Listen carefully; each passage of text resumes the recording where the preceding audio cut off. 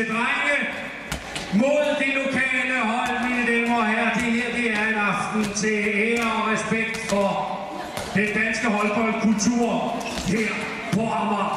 Jeg vil gerne have, at I alle sammen giver et stort bifald til boldtidrengene for at komme herude i handen i aften. De vil stå hånd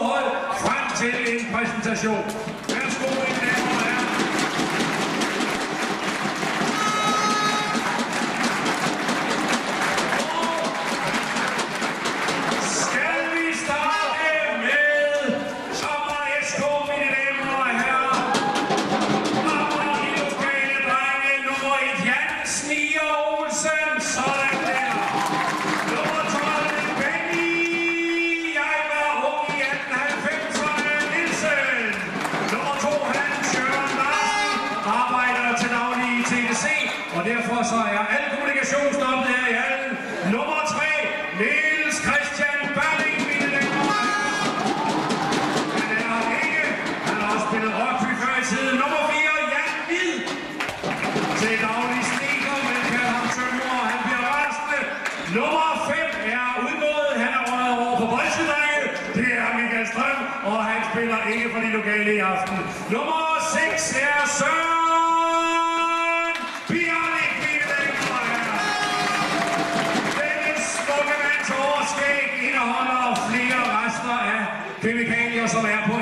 liste over masseulykker til smukken. Nummer 7, Carsten Madsen, til daglig forsikringsmand, og han uddeler poliser ved udgangen. Nummer 8, Frederik Vildbo, mine damer og herrer.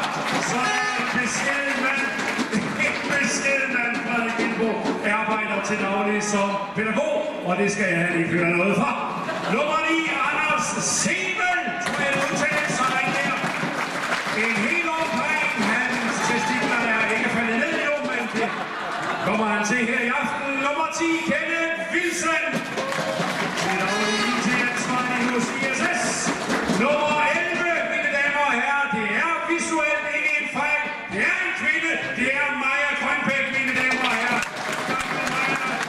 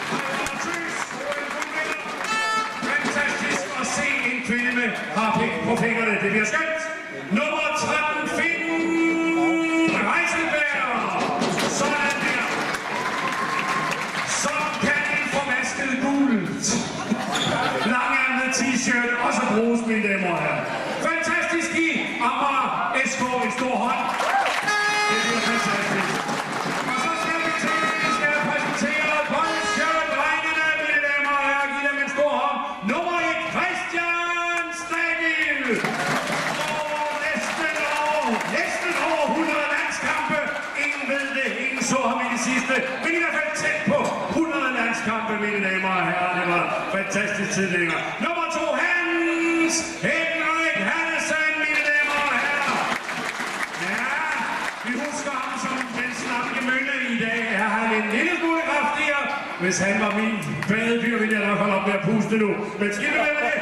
Nummer 3, den stærkt tatoverede Claus Letting Jensen, mine damer og herrer. Smukkere kan det ikke gøre. Troels Kløvedals uægte sund. Nummer 4, den 6 meter 20 høje Per Skårup, mine damer og herrer. Han er en biologisk sensation, mine damer og herrer. Der er flere kinesere, der har putt på ham for at få hans DNA. Så er jeg lidt i tvivl her. Nummer 5, undskyld, nummer 5, Niels Erik Vinter, mine damer og herrer. Det er han er til daglig direktør på Fisketorvet.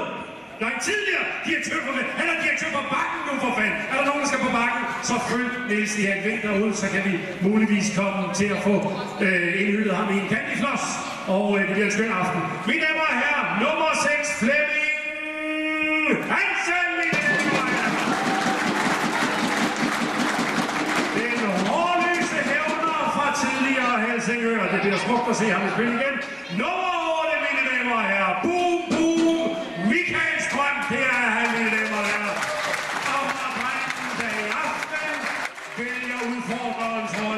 stribe. Nummer 9, Karsten Havrum, mine damer og herrer. Holdets eneste mand, der har en IQ på over 11. Han er rigtigt. Han har en uddannelse, mine damer og herrer, og det vil holdet benytte sig af i aften. Sidder til daglig som øh, direktør i øh, det DGI-byen, og, øh, eller prøv i Københavns Kommune, for fanden der også. Det er derfor, jeg øh, har et problem. Øh, har været fader til din by. Og, mine damer og herrer, øh, øh så har vi fået at vide, at Morten Stig Christensen, som jo til daglig øh, sidder i Dansk Hopperforbund, han øh, er i øjeblikket fanget i en fæk, fæk akvarieulykke øh, lige herude i, øh, i Sioux City, hvor han er i færd med at drikke øh, omkring 11 liter akvarievand, og ingen ved, om han når frem til kampen, den gamle stålhjelm, Morten Stig Christensen. Vi håber, han kommer, men vi ved det ikke. På dommerpladsen har jeg nævnt alle. Ja, det har jeg. Det er små folk. Giv dem en stor hånd, mine damer og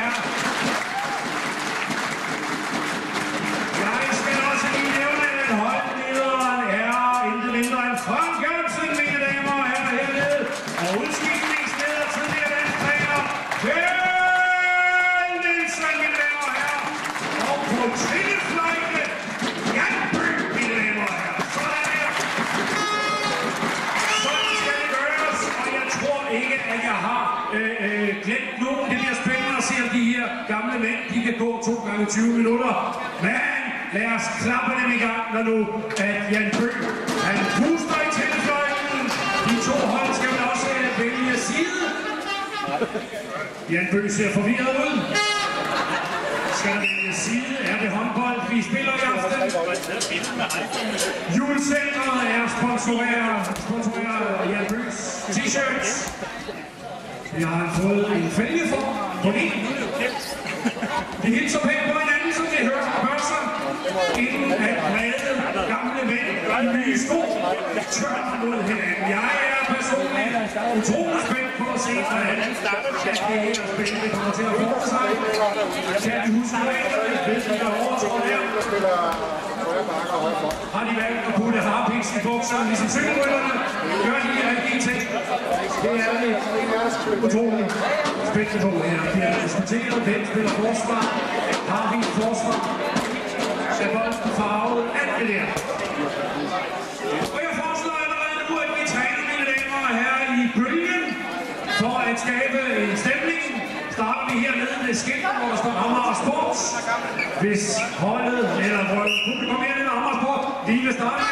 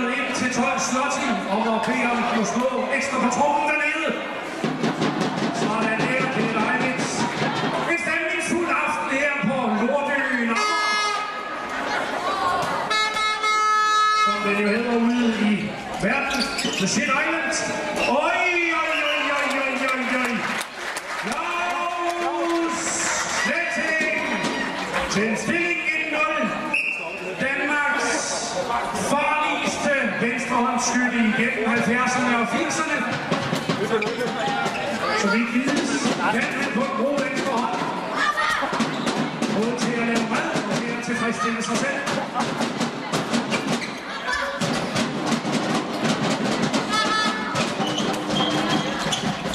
Og se så der, se så der! Hvordan nummer 7 Carsten Madsen vrider sig ind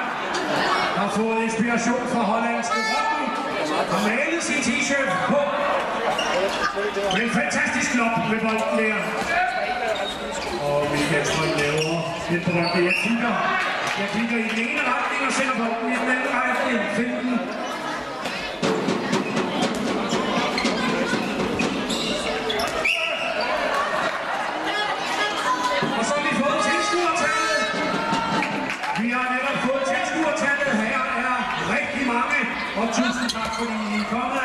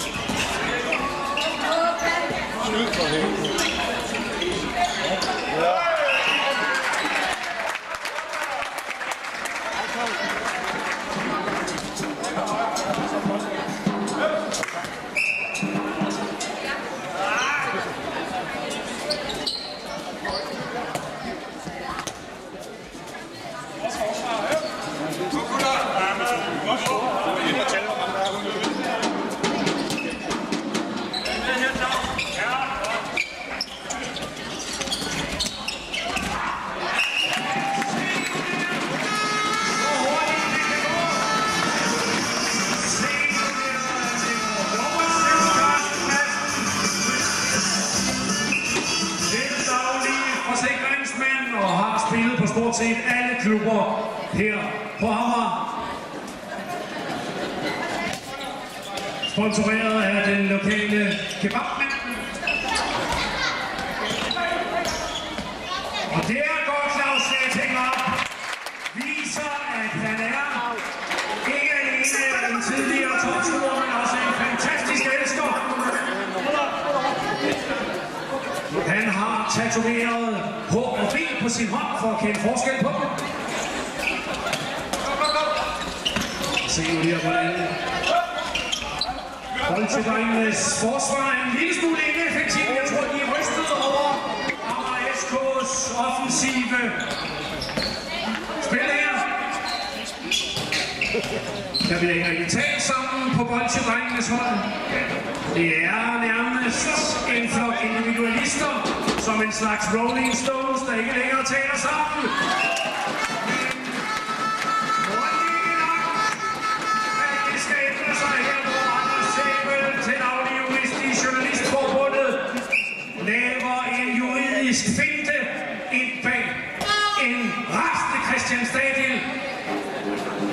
Som nu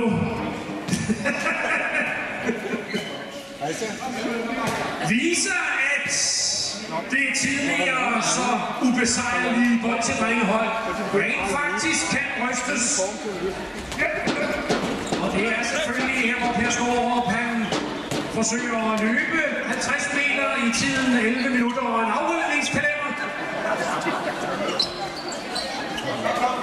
Per Skorup, som jo har en skridtlængde på næsten 11 meter og 40 centimeter, Og på et tidspunkt være bademester ved bare at skrive hen over Bellahøjbadet. Og det er, mine damer og herrer, ligner det, ligner det en straffe. Men jeg synes, Jan Bøj, han lader fløjten blive i lommen, i dækket.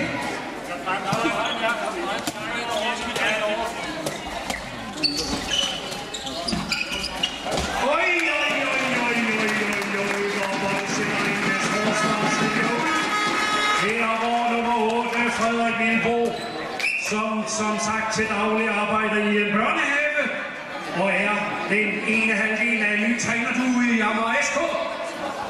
The Trainer Duos, som de kalder dem. Det bliver spændende at se. Og der er selvfølgelig nogen, der vil undre sig over, om nummer 8, Frederik Vilbo, er tapet ind på sine to venstre fingre. Det er det ikke, det er et toiletrør, han lige har svunget omkring sig. Fordi, som han siger, jeg har så vanvittigt tynd mave, at jeg aldrig ved, hvornår jeg skal bruge det. Og så I ved det, sådan er det her på Amager. Man er ikke bare for at være ærlig med, hvornår man har tømt mave. Og En flight flight finte her er over SK's 9. og Anders Sebe. Jeg synes, mine damer og herrer, at SK fortjener et takfast publikums.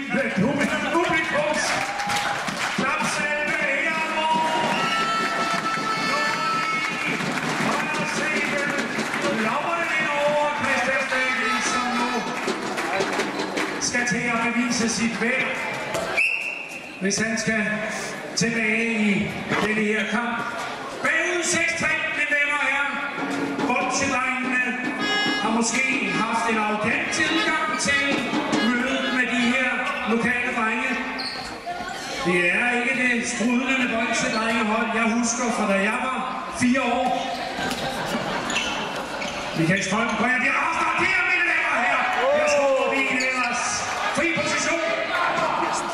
vi skal også huske, at Per Skål fik fjernet begge sine knæ. Og det er faktisk to stoleben, han løber på i øjeblikket. Og det synes jeg rent faktisk burde tælle halvanden mål, hvis han rent faktisk får scoret. Og her, det er næsten låst. Claus Letting, nærmest i en hed omfavnelse med nummer 9 fra Vejsko. Og så synes jeg godt, at vi kunne få simpelthen en stusning, som ellers kun oplever den. Hvor nummer 6, Flemming Hansen, gammel Helsingør-dreng, stusser den alt for hårdt i jorden. Jeg kan se, at han er sur på sig selv. Hiver sig i sidste hårde rod. Man kan vel sige om Flemming Hansen, at det ville klæde ham med øjne i nakken, for så havde han haft pandehår. Men det skal ikke videre til last til, hvor seriøst er en vanvittig stor trussel for bolsjedrengenes renommé. Søren Bjarne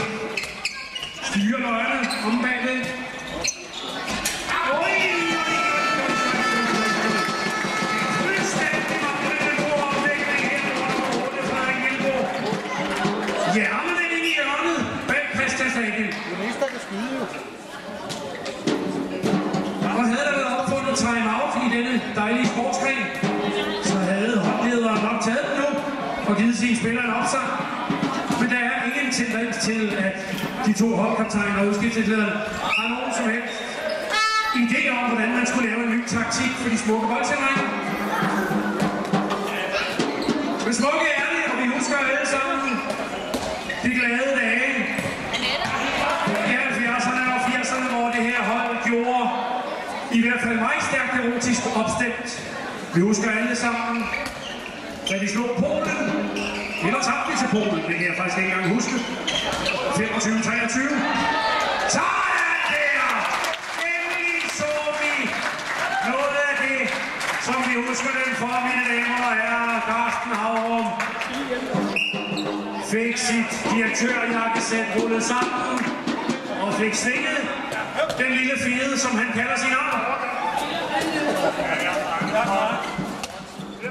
Så så vi lyne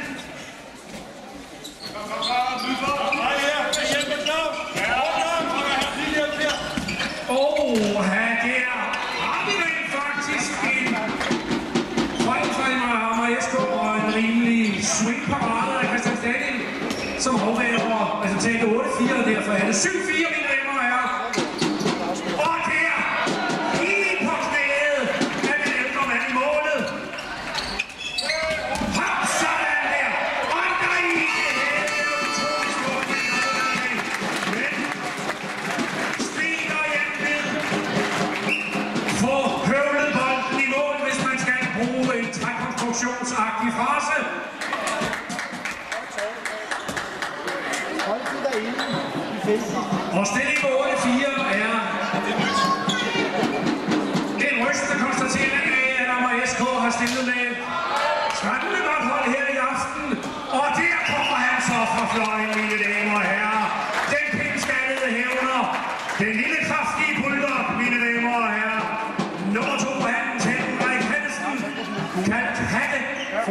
forsøgte at skjule sin hovedbund.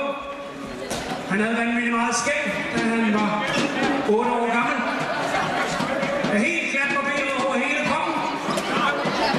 Ikke et hår overhovedet. Og det viser han frem i pausen. Hvis der er nogen, der er interesseret, kan de få 10 kroner. Køb en billet til omstillingsrummet, hvor Hans Henrik Hallesen viser. Rolig, rolig, rolig, rolig. Synes jeg, at en vis vrede ved at opstå imellem de forpustede nærtrækninger hos bolsjedrengene. Man kan mærke, at det her skal alligevel ikke lige så nemt. Øj, det er så flot underhåndsskud fra Michael Strøm der. Gammel Amager-dreng. Ved, hvornår man bruger en tunnel. Underhåndskast. Maja er tilbage på banen. Søren Bjarlik styrer. Jeg har ikke set et overskæg som Søren Bjarlik siden Mogens Jeppesen tømte 80 faden på en par i Fredericia.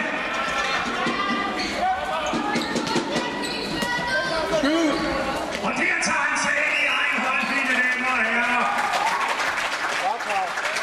Troels Kløvedals uægte søn, Claus Lessing, mine damer og herrer, hjertet med sin stærke venstre arm. Og læg mærke til hans abeagtige gangart. Han har faktisk fået forkortet 40 cm af begge sine arme, da han gik og trådte i dem.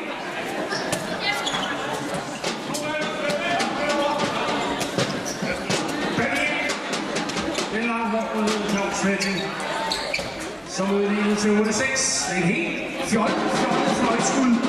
Og nummer 4, Jens Løse, bolden væk. Den unge stikker Jan Hvid. Og de polske drenge på fløjen trummer stemningen i gang her, hvor jeg synes, de fortjener et tak for spilfald på bekymringen af og herrer. De to smukke, smukke hold, som så på fornem vis viser, at man stadigvæk kan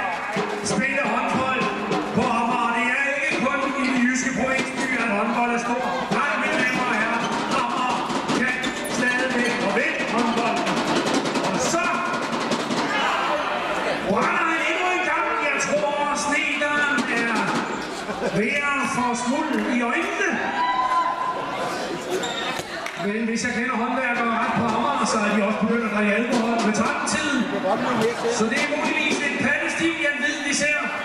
Brænder sin anden nu står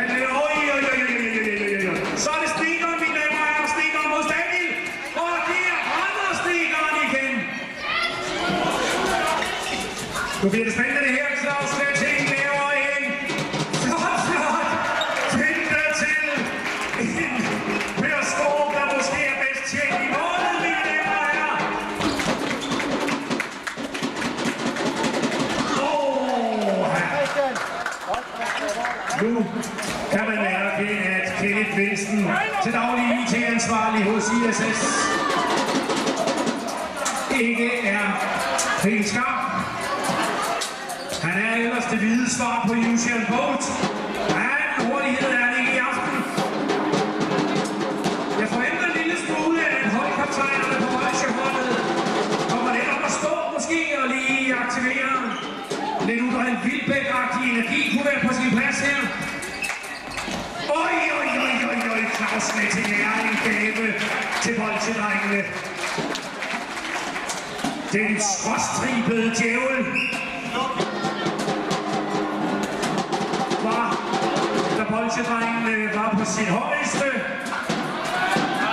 Some.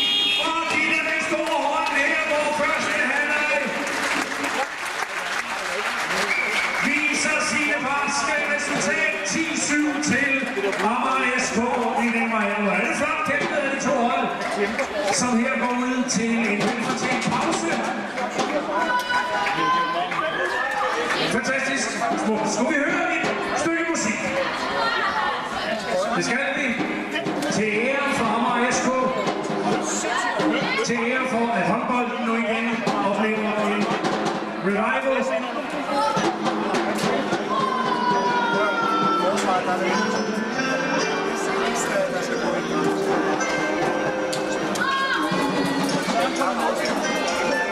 Vi nemmer her, der er 10 minutters pause.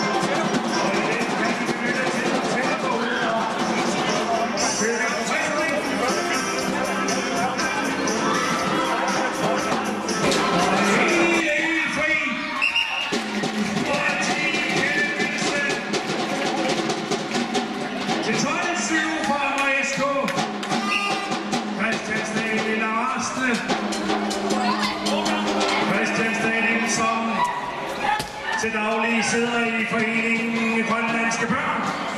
Og må jeg ikke have lov til at sige, at det er som om hans medspillere spiller lidt på is her. Hvor Michael Strøm, gammel om og drejer, tager tiden, tager action i egen hånd, om man så må sige, til daglig fysioterapeut, terapeut, og nu glider han på den bag en forsvarsløs Jan Stiger Olsen.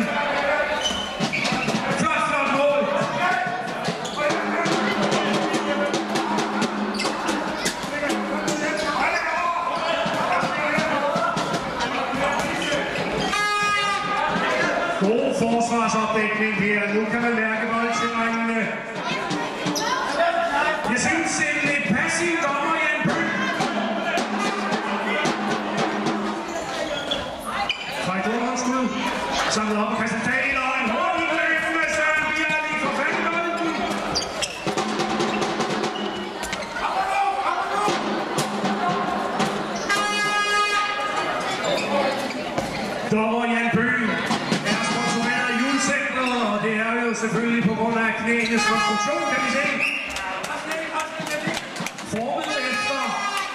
16, Thomas Falke.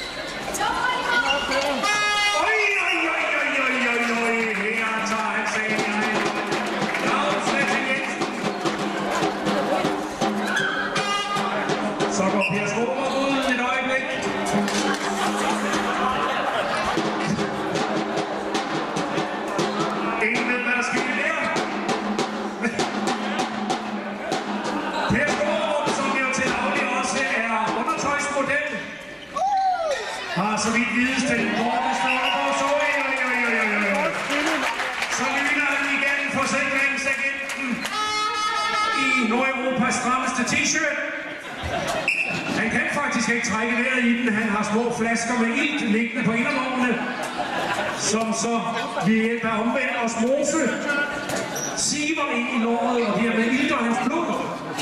For det er en fysisk mulighed at trække vejret i den t-shirt. Men flot er det, og han scorer. Og så skal jeg lige love for, at mine damer og herrer, den gamle Helsingør-spiller Flemming Hansen, han får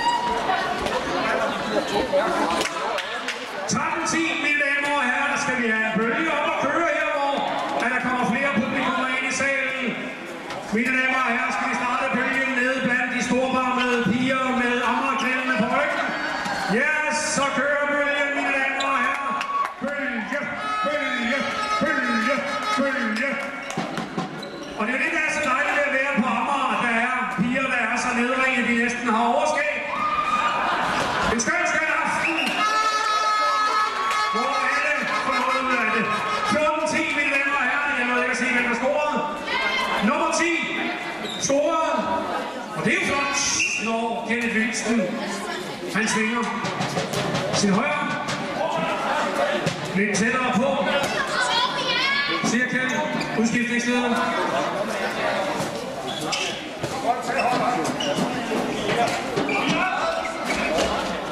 Se der, hvordan de kan, damer og.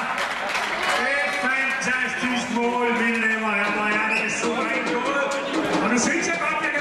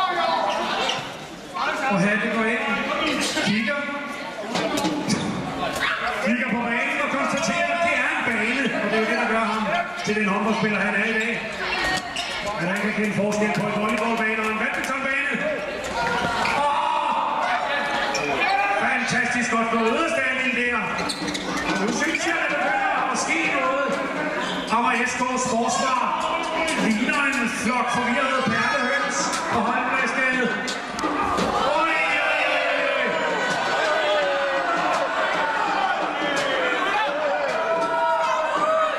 Og nu går Jan Bøge frem, hiver en æbleskive op ad lommen.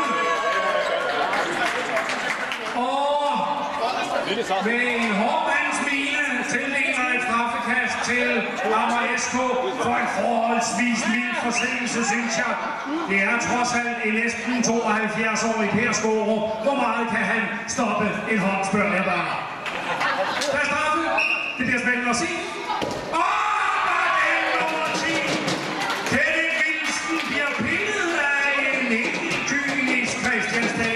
Som har spillet sig op her i kampen. Op igennem gulvet, op igennem taget, op til skyerne, op til himlen, mine damer og herrer. Det her, det er himmelske godter, der regner ned over ham på Lorteøen på denne dejlige, onsdag aften i august, mine damer og herrer. Det her, det er klodernes kamp. Det er kampen mod det gode og det gode. Det her, det er den brune klinge mod de høje bakkenbolder. Det her, mine damer og herrer, det er fantastisk. De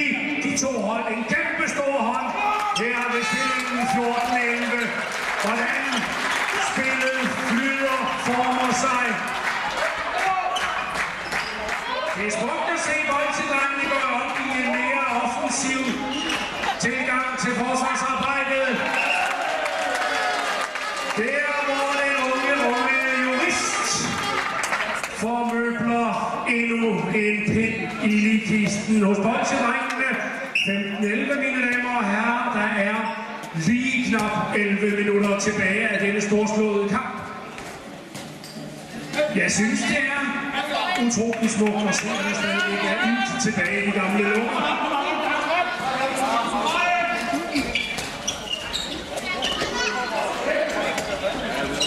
Flere af bolsjedrengene har jo meddelt. Oj, oj, oj, oj, oj, oj, oj, oj, hvor de... Søren Bjerlik kommer lige ind der, piller den. Drillende ind bag en forsvarsløs målmand.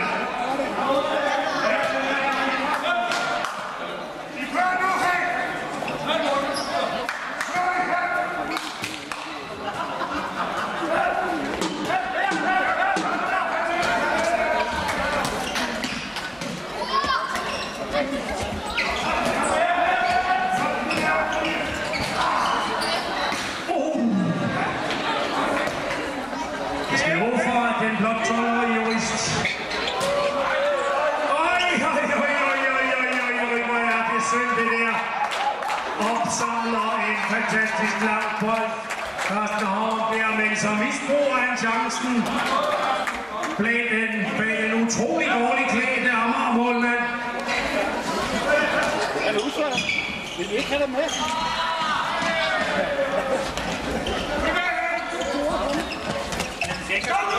Og så er han kommet på banen igen. Og en feber, feber redning af Christian Stadil på en næsten fri Maja. Og Michael Strøm er hævneren, der eksekverer dødsdommen over denne fantastiske tvingtong dobbelt angreb.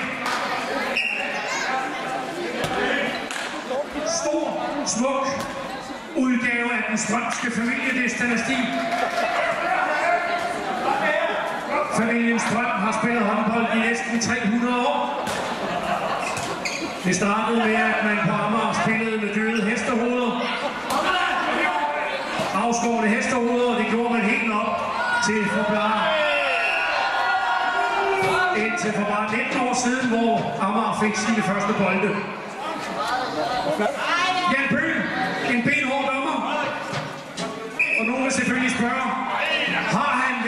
Solarie, eller har han ligget i skin med Ulf Pilgaard? Men det er hans naturlige farve. Han blev født Bro, og han lever som Bro. Nu tæller drengen Jan Bøhl. Har fløjtet. Oj, oj, oj, oj. Denne gang kan Christian Stadil ikke stille noget op. Mod speakeren, høvleren, Savsmuldsdrengen farmer, som gør det til 16.30. Og så hører jeg her fra sidelinjen Lav Svenskeren, Lav Svenskeren. Og det er jo selvfølgelig det gamle kodeord for, at man drikker 12 guldtuborg og kaster op på midten af banen. Åh.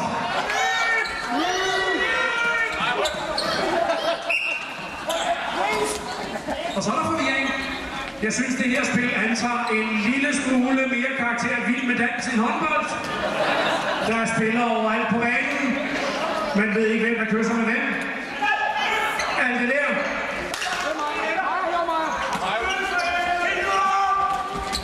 Og så siger man fatte. Den lille kogtæt fyr, den lille charmetrol, den lille velindsmorte fysioterapeut.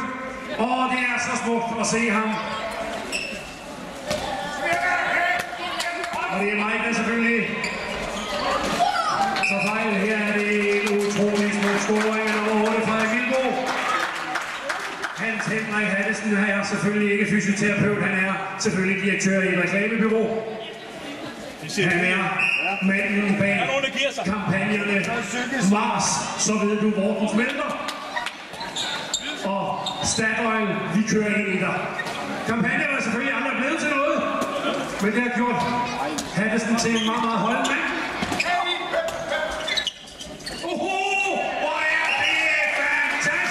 Godt se det der. Den berømte finte, jeg kigger et sted hen og skyder et andet sted. Utrolig smukt. Eksekveret af Carsten Havrum, som opfanger det skillerne blik fra Hatte. Og er det helt, helt hjælpeløst Amager SK forsvar, der ikke opfanger detaljen. Oh, ja. Nu har vi en Christian Stadil, der er vågnet op derinde og tager knæet til hjem.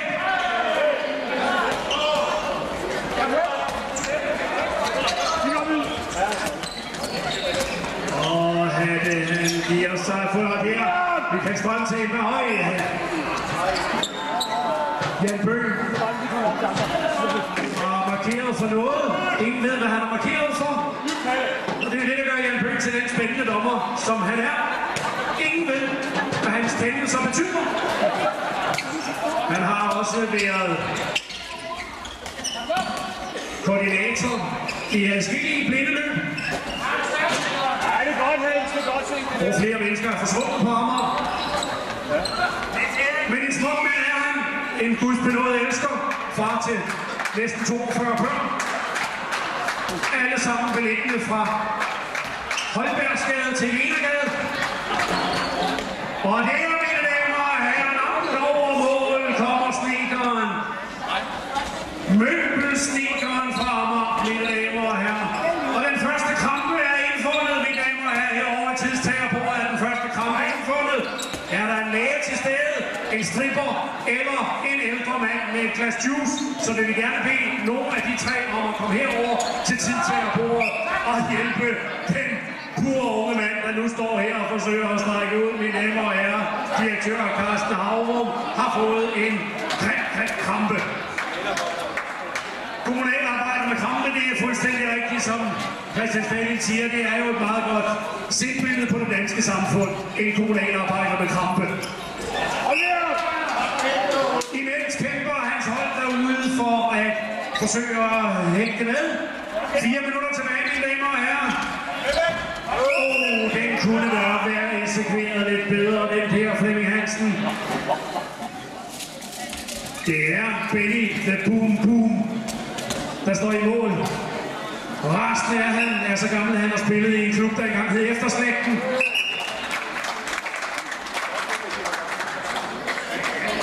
Og han magter heller ikke at nå op til bolden, er faktisk fuldstændig givet op. Til daglig har han et revisionsfirma, og det er måske derfor, at han også vælger at blive stående nede mellem rækkerne. Og så har vi fået et nyt tilskuertal. Der er lidt flere end tidligere. Jan Bøgen markerer for hvad? For mig at se var der ikke andet end en mand, der skød over målet. Men okay, det er dommeren, der dømmer. Jan Bøh har talt. Sådan det er lidt psykologisk krigsførelse bag den unge Maja Grønbæk, som nu gør, det hun kan for ikke at misse det unge unge mere og eksekvere på smukkeste vis. Til stillingen 18-15, mine damer og herrer, det er boldsjedrengene i knæ her, hvor Niels Erik Vinter er kommet ind, mine damer og herrer, en forstærkning eller vi ved det ikke, har valgt at tage armfører og anfører benet på knæet.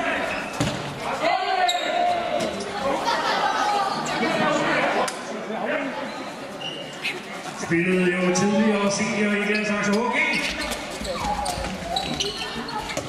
Og øh, han er misbruger, og endelig kommer Per Skårup på scoringslisten. Mine damer og herrer, det er også umiddelbart før hjertetransplantationen den sætter ind. Der står en af forsvarets helikopter ude på parkeringspladsen her. Og Per Skårup vil umiddelbart her efter kampen blive fløjet direkte til Rigshospitalet og skåret op i 12 dele. Og solgt til Sydøstasien. Og det er jo det, der gør hans kampånd så fantastisk. Oha, Corinna og Per, mine damer og herrer. Endelig får stikkeren sit sandpapir rettet ind. En helt opgivende Christian Stadling, der nu endegyldigt forlader Amager. Flytter til Drejø og har planer om at starte en minkfond. Som han siger, jeg får intet pels af det her spil her. Sådan der, jeg så ikke, hvem der scorede, hvem scorede. Det gjorde Claus Sletting ikke. hvor har han været en fantastisk styrke for det her hold. Og som jeg hørte, han sagde, da han løb ind på banen her for en lille time siden, jeg gør aldrig det her igen. Claus Sletting Jensen, en gudsbenået smuk mand. 72 år gammel og stadigvæk i besiddelse af et ufatteligt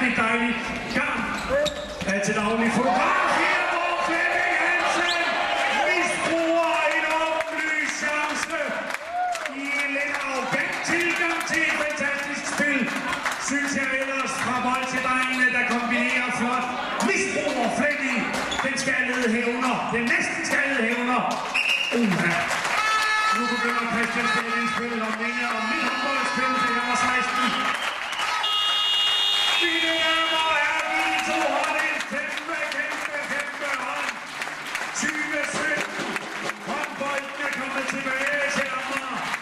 De er nemlig en stor, stor hånd. Kun fortjent sejr til Amager